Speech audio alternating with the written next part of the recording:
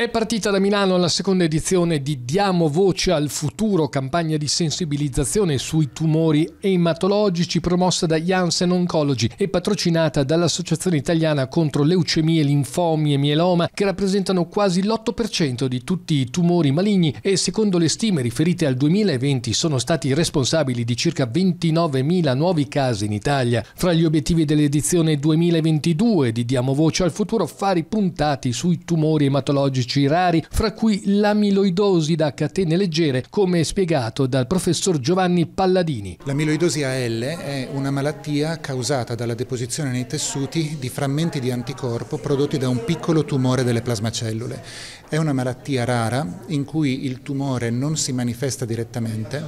ma eh, danneggia gli organi a distanza attraverso la produzione di questa proteina tossica e può dare danno del cuore, del fegato, dei reni, eh, con un carico molto pesante per i pazienti e una necessità assoluta di diagnosi sicura e precoce. Non meno importanti gli studi sulla macroglobulinemia di Waldenström evidenziati dalla dottoressa Alessandra Tedeschi. La macroglobulinemia di Waldenström è un disordine che fa parte eh, dei linfomi non Hodgkin a basso grado, malattie eh, indolenti e si caratterizza per la presenza di cellule tumorali clonali e dalla presenza di una proteina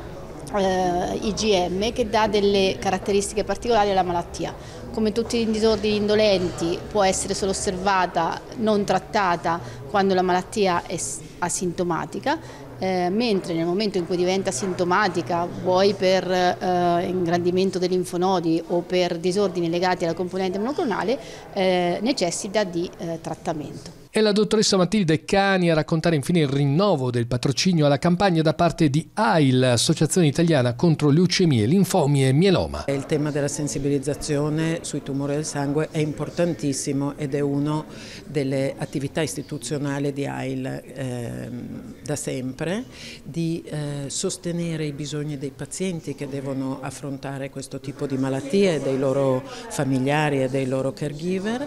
e di eh, favorire la ricerca medico-scientifica con l'obiettivo di eh, ottenere cure sempre più mirate, personalizzate, efficaci e risolutive.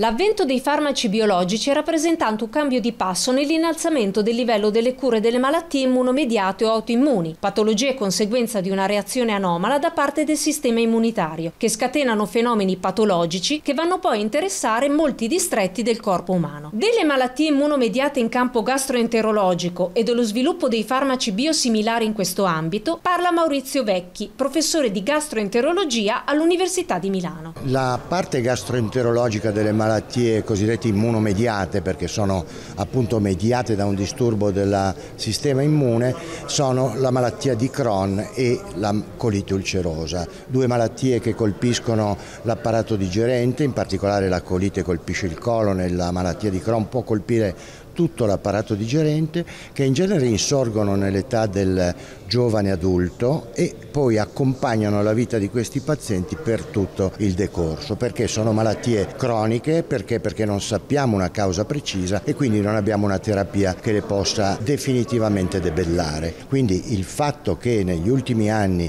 si siano sviluppate delle terapie che sono particolarmente efficaci nel dominare le fasi acute di malattia e nel rimettere la malattia in quiescenza, talora anche per periodi prolungati, è assolutamente importante, assolutamente innovativo e devo dire di grande valore per noi gastroenterologi. In questo ambito la Lombardia è tra le regioni maggiormente virtuose per la difesa della libertà prescrittiva, per una politica sanitaria che vada maggiormente incontro alle esigenze dei malati, come spiegato da Silvia Ostuzzi, rappresentante dell'Associazione Pazienti Alomar. Il lavoro svolto con Regione Lombardia per le malattie immunomediate rappresenta uno scenario di condivisione e di dialogo fondamentale. Ci permette come associazioni che rappresentano appunto le persone di tutte le età che in Lombardia affrontano la grande sfida di una malattia immunomediata cronica, di portare la loro voce e la loro prospettiva in questo tavolo di scambio con i clinici e le istituzioni. La prima esigenza che i pazienti sentono è quella di avere informazioni corrette e affidabili. L'azione delle associazioni è anche quella di effettuare opera di contrasto alle fake news.